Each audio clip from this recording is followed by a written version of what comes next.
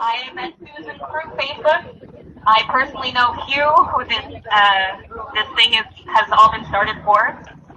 I'm not going to be redundant and say what we what we all know that dogs are are like people. They have emotions. They have rights. And it is the, the person on the other end of the leash, like we're saying.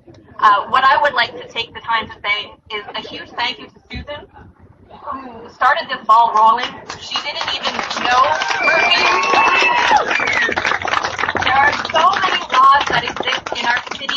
in our province, in our nation that are outdated or that are outjust or that were created out of fear. And it is only through people like Susan and through all of you who have come out here today that we're going to change things.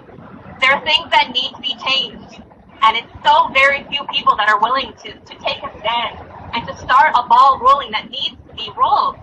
So I encourage all of you to find those laws that are unjust, not just for Murphy, for, for anything, and raise your voice like we're doing here. We can inspire change.